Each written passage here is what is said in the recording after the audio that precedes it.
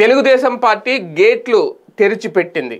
రా రమ్మని పిలుస్తోంది. కొంతమంది వైసీపీ నాయకులు కూడా సిద్ధమవుతున్నారు టీడీపీలో చేరడానికి అనేది ప్రచారం. ఎందుకంటే కొత్త ఏం కాదు రాజకీయ నాయకులు అటు నుండి ఇటు ఇటు నుండి అటు వెళ్ళడం. గాలి ఎటు వీస్తే అటు వెళ్తారు. ఏ పార్టీ అధికారంలోకి వస్తుంది అని అనుకుంటే గనక ఆ పార్టీలోకి వెళ్ళడం అనేది రాజకీయ నాయకులకి షరా మామూలే.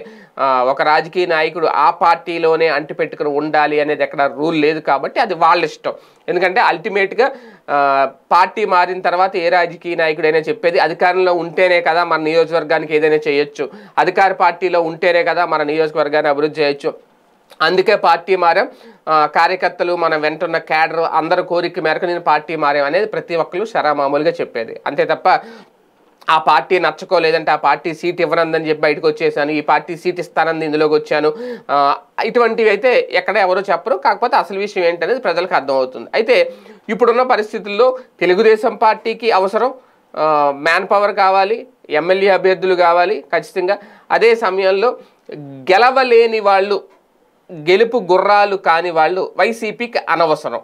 ఇది ఆల్రెడీ జగన్మోహన్ రెడ్డి గారు ఒక క్లియర్ డెసిషన్ తీసుకున్నారంట. సో ఇటువంటి నేపథ్యంలో వాళ్ళు గెలుపు గుర్రాలు అవునా కాదా అనేది పక్కన పెడితే తెలుగుదేశం పార్టీకి ఖచ్చితంగా ఏదో గుర్రం అయితే కావాలి. అది గెలుపు గుర్రమా లేదంటే పరిగెట్టే గుర్రమా పడుకునే గుర్రమా ఏదో గుర్రం అయితే కావాలి. అంటే దాదాపు కొంతమంది చెప్తున్న దాని ప్రకారం ఒక డెబ్బై నియోజకవర్గాల్లో అభ్యర్థులు కరువయ్యారు అనేది. అయితే ఇక్కడ ఇంకొక విషయం ఏంటి అంటే పొత్తు దాదాపు ఉండదు అనే సంకేతాలు గత రెండు మూడు రోజులుగా వస్తున్నాయి. ఎందుకంటే జనసేన డిమాండ్లను పరిష్కరించే దిశగా కానీ జనసేన డిమాండ్లకు తలొగ్గే విషయంలో కానీ తెలుగుదేశం పార్టీ ససేమిరా అంటున్న నేపథ్యంలో పొత్తు అయితే ఉండదు సింగిల్గా వెళ్ళే ఆలోచన కూడా చేస్తున్నారు. అదే కనుక జరిగితే ఖచ్చితంగా అభ్యర్థులైతే అవసరం ఉంటుంది. ఈ నేపథ్యంలో సీనియర్లు పెడతారా లేదంటే వైసీపీ నుంచి వచ్చిన వాళ్ళకి అవకాశాలు ఇస్తారా? అందుకే ఎవరైనా సరే వచ్చే వాళ్ళని తీసుకునే ఆలోచనలోనే ఉందంటే ఇప్పటికే మంతనాలు కూడా జరుపుతున్నారు.